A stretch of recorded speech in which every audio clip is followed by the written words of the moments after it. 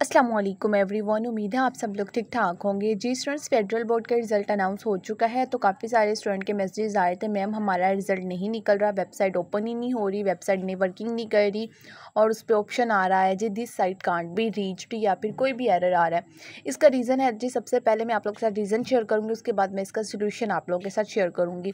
जब result announce होता है तो काफ़ी सारे स्टूडेंट जो होते हैं, वो एक साथ ही अपना रिज़ल्ट चेक करने के लिए वेबसाइट पर मौजूद होते हैं। जिसकी वजह से वेबसाइट पे एरर आ जाता है, वेबसाइट से इसे वर्किंग नहीं करती है, कोई ना कोई बग आ जाता है, काफ़ी स्टूडेंट के रिज़ल्ट निकल आते हैं और काफ़ी स्टूडेंट्स के रिज़ल्ट नहीं निकलते।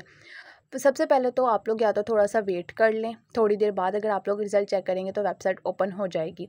उसके अलावा आप लोगों के पास तीन से चार मेथड और हैं जो कि मैं आप लोगों के साथ आज की इस वीडियो में शेयर करूँगी कि अगर आप लोग वेबसाइट के ज़रिए नहीं चेक कर सकते वेबसाइट नहीं चल रही है या कोई इंटरनेट का इशू है तो आप इसके अलावा कौन से तरीक़ों के साथ रिज़ल्ट चेक कर सकते हैं, आइए देखते हैं। जी स्टूडेंट्स ये दो वीडियोज़ के थंबनेल आप लोग देख सकते हैं। सबसे पहला अगर आप लोग देखें तो एफ़ पर tenth class result ninth and tenth class result SSC part one and part two सिर्फ़ एसएमएस करके अपना रोल नंबर आप लोग रिज़ल्ट चेक कर सकते हैं।